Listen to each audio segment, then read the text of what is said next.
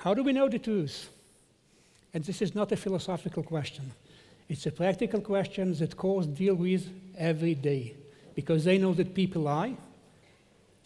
And people lie because they want to avoid negative consequences or unpleasant situations. Many of you will say we have a way to know the truth from lie. We use polygraph, we use DNA, we use fingerprints, eyewitness, and the list goes on and on. If I ask you which one of them is the best, if you watch CSI, you will probably say DNA and fingerprints. Polygraph, well, not that reliable. I'm here to tell you the opposite. I'm a criminal investigator, polygraph examiner, and for the last 40 years, I interviewed, interrogated, polygraph tested over 35,000 people. And I can tell you that the polygraph is reliable and it is the most reliable and efficient tool that we can use in our quest for the tools. But let's start with the other tools first. Theoretically, all of them are 100% accurate, no doubt about it. Practically, the implementation reduces the accuracy rate, sometimes dramatically, because of the human factor that plays effect over here. Let's start with the fingerprint. Since 1995, there is an ongoing proficiency test done annually to fingerprints experts. Thousands of fingerprints experts took the test so far, and the results are the following. 59% of them did correctly. 7.5% made an incorrect decision, and 34% was undecided. What about the DNA? The new queen of evidence. September 11, 2001, a tragical day. 23,000 and something samples are being pulled out from World Trade Center rags. It have to be compared to 2,700 missing persons in order to identify them. Out of the 23,000 samples, the DNA was able to identify only 111 people. This is less than half percent. And if that is not bad enough, recently a Tel Aviv based life science company was able to manufacture false DNA samples that can incriminate whoever they want. Now, don't misunderstand me and don't take me wrong. I'm totally convinced that all these tools should be admissible in court and should help the court. The more information the court have, the better judgments they can make. After all, judges and jurors are but human beings, and they need as much information as possible in order to render a correct, a correct decision. What about the polygraph? But first, what is a polygraph? Polygraph is an electronic instrument that measures blood pressure, heart rate, electrodermal activity, and respiratory rate. While the person is being connected to the polygraph and being tested for his credibility.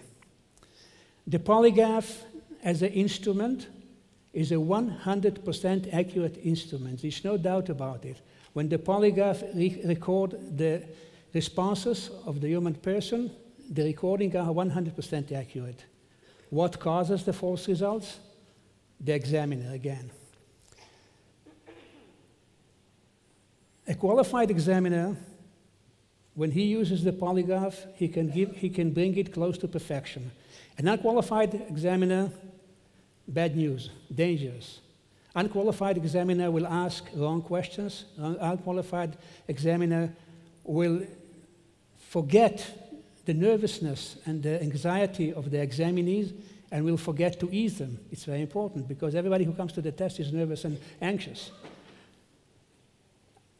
Unqualified examiner will disregard the contaminations we have in a test. Unqualified examiner will wrongfully analyze the polygraph charts. In a way, it's very similar to a vehicle. Vehicles are 100% safe. Vehicles does, does not run over pedestrians, Vehicles does not collide with other cars. Vehicles don't make accidents. Vehicles are 100% safe. the driver is always almost the one responsible for the accident. I guess by now some of you think, well, you're a polygraph person, so no wonder that you say what you say. It's not about what I think, it's about what, what about research think. Research shows, uh, research done by Widacki and Horvath showed, they, they compared different type of uh, forensic tools. And the research results were the polygraph was 90% correct, 5% incorrect, 5% inconclusive. Eyewitnesses were 35% correct, 25% incorrect, and 40% inconclusive. Fingerprints was only 20% correct, 0% incorrect, but 80% inconclusive. I guess by now you ask, if it's so good, how come it has such a bad reputation? There are several reasons for that. I think the first one is the name itself. Polygraph is being nicknamed lie detector. Whenever you use the word detector, it suggests an instrument, it suggests a machine. And we humans expect machines to be 100% uh, correct. Most people doesn't know that there is an examiner behind the machine, and the examiner is the one who make the decisions, and the examiner is the one who make the mistakes.